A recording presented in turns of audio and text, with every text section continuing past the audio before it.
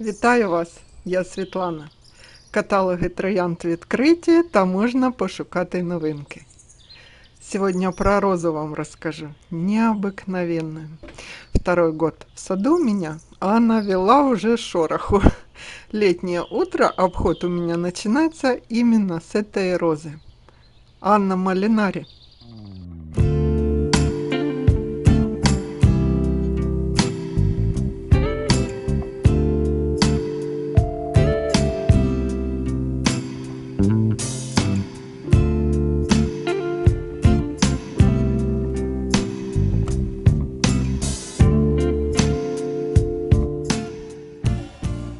Роза – праздник для любителей искушенных и неискушенных чайно-гибридных роз.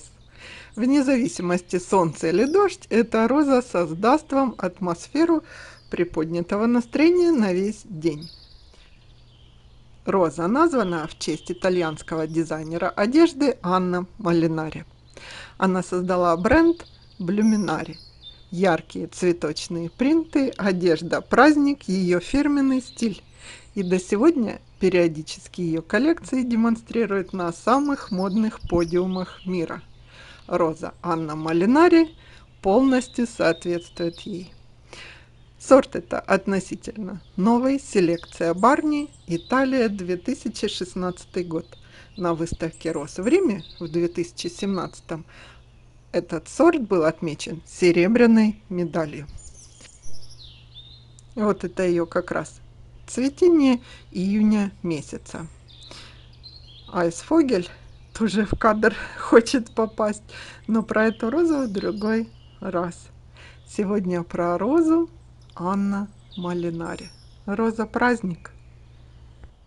Роза имеет ярко-зеленую листву, тонкие коричневые побеги. Но не смотрите, что тонкие. Куст высокий, можно даже сказать величавый. На клумбе у дома выделяется и притягивает себе, как магнит. Куст мощный, несмотря на такие побеги. Я вам дальше покажу, сколько одновременно может быть на одном побеге цветов. Вы удивитесь. Опоры и подвязки эта роза не требует. Она еще и менее стойким розам соседкам сможет опорой послужить. Куст не разваливается, но и одновременно пышный, потому что размер листвы, смотрите, какой большой.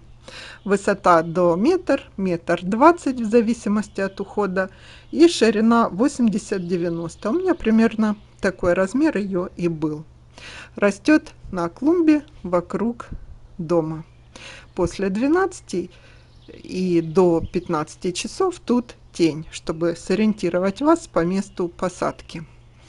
Цветок невероятный, создает вау-эффект на клумбе.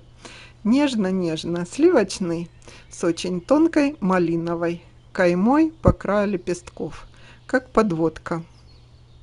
Аромат у розы очень приятный, даже для моего искушенного вкуса. Я ароматные розы не люблю, и аромат вообще не нравится мне у роз. Но Анна Малинари, как ни странно, любимица. У этой розы очень хорошее и любимое многими качество. У нее нет шипов.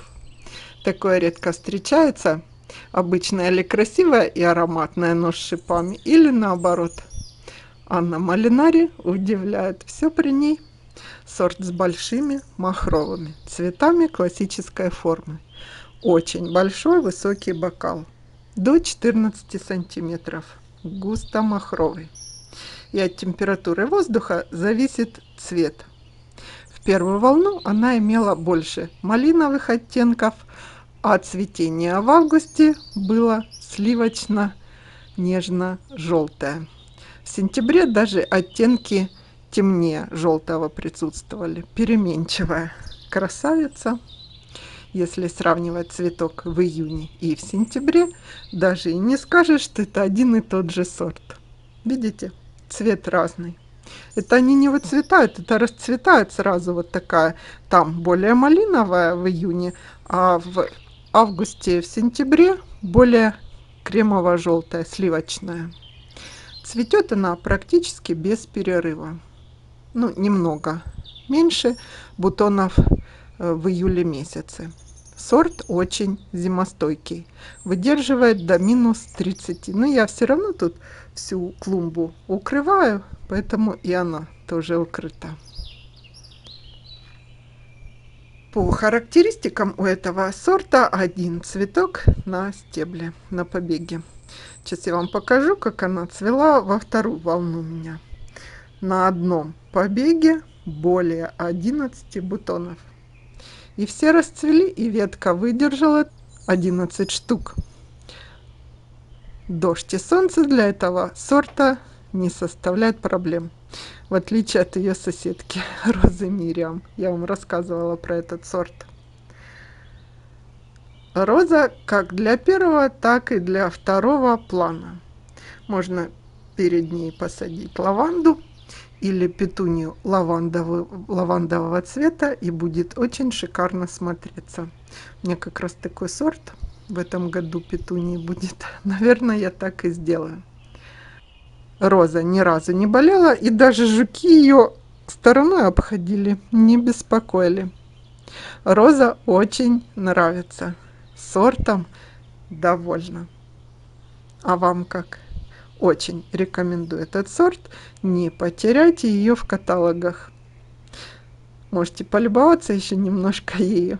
И до встречи в новых видео. Всего хорошего.